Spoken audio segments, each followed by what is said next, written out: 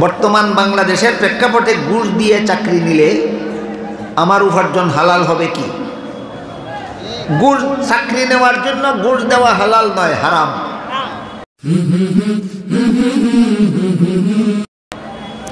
যোগ্যতা থাকা সত্ত্বেও আমি চাকরি নিতে পারছি না। কোরআন ও হাদিসের আলোকে ব্যাখ্যা দিলে উপকৃত হতাম। যোগ্যতা থাকা সত্ত্বেও যদি আপনি চাকরি নিতে পারছেন না, তাহলে চাকরির পিছনে আর ঘুরান কেন? স্বাধীন ব্যবসা করুন।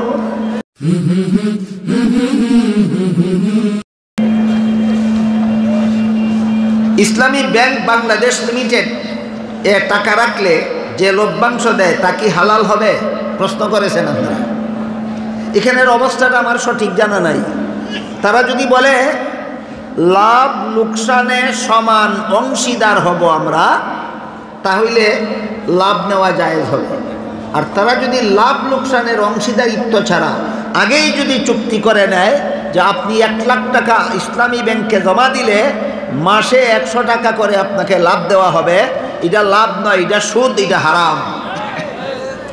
অনেক আলেমগণ হালাল বলেন, আবার হারামও বলেন। এই হইল কারণ। একজন আলেম হারাম বলবেন আর একজন আলেম হালাল বলবেন। কারণ যে ব্যাংকে বলবে যে আপনার লাভের অংশ আমরা ভাগ করে নিব, এই আলিম বলবেন হালাল। আর যে আলিমের কাছে বলা হবে যে না, লাভের অংশ ভাগ করে নেয় না, আগের থেকেই চুক্তি করে এত টাকা জমা রাখলে মাসে এত টাকা বা বছরে এত টাকা মুনাফা দেব, তাহলে এটা হারামই হবে।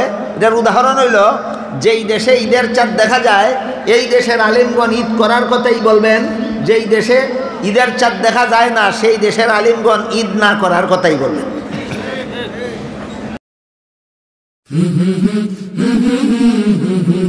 যে কোনো ব্যাংকে চাকরি করে যে বেতন পাবো, তা কি হালাল হবে? কোরআন সুন্নার আলোকে বিষয়টি জানতে চাই। ব্যাংক যেহেতু সুদের কারবার ছাড়া চলে না এই জন্য সুদের কারবারে সহযোগিতা করা জায়েজ নয়।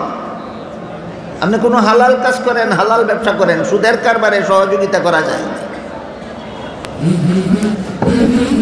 আল্লাহ আপনাদের, আমাদের সবাইকে হালাল হারাম জানার, হালাল হারাম মেনে চলার তৌফিক দান করুন আমি সুবহান রাব্বিকা রাব্বিল ইজ্জাতি আম্মা ইয়াসিফুনা ওয়া সালামুন আলাল মুরসালিন।